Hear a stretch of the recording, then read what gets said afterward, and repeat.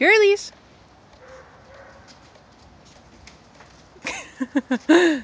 Look at you, Kara. You guys want to come out? Fluffasaurus is starting to get her feathers back. You can see her feet are, feet are starting to fluff out. Oh, here comes Teryx. Come here, Teryx. She's got one feather left in her butt. Kara, you can see, is starting to grow her little nubby tail back. Salem has just one feather left. Pogue has nothing. Come on, girlies.